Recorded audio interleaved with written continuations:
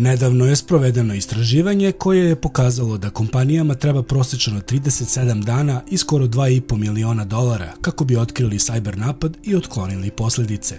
Cilj istraživanja bilo je utvrđivanje međusobnog razumevanja rukovodstva kompanije i njenih bezbednostnih IT timova i kako to utiče na otpornost na cyber incidente. Sondaža je obuhvatila čak 1300 biznis lidera. Skoro svi ispitanici van IT sektora, to jest oko 98% njih, istakli su lošu komunikaciju kao faktor rizika koji uglavnom vodi velikim kašnjenjima projekata i cyber napadima. Trećina ispitanika tvrdi da se sa ovim problemima susrela više puta. Lošu komunikaciju krive i za druge negativne pojave poput traćenja resursa, gubitka vrednih radnika i pogoršanja odnosa između timova. Više od 60% ispitanika istaklo je da su doživeli ove situacije. Stručnjaci kažu da je komunikacija između rukovodilaca i menadžmenta u bezbednostnom IT sektoru preduslov za korporativnu zaštitu. Kako se to postiže? Međusobnim razumevanjem. Eksperti koji rade na IT bezbednosti firme moraju naučiti barem osnove poslovnog jezika da bi postojeće rizike bolje objasnili rukovodstvu, a samim tim istakli potrebu za određenim sigurnosnim merama.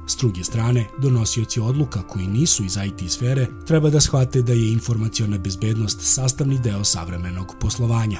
Ulaganja u IT bezbednost ne treba posmatrati kao trošak, već kao investiciju u zaštitu korporativne imovine. Digitalizacija poslovanja donela je mnoge prednosti, ali i opasnosti. Na bezbednostnim timovima je da te opasnosti prevedu na svima razumljiv jezik, a na poslovnim liderima da shvate da bez sajber zaštite izlažu celokupno poslovanje ogromnom riziku.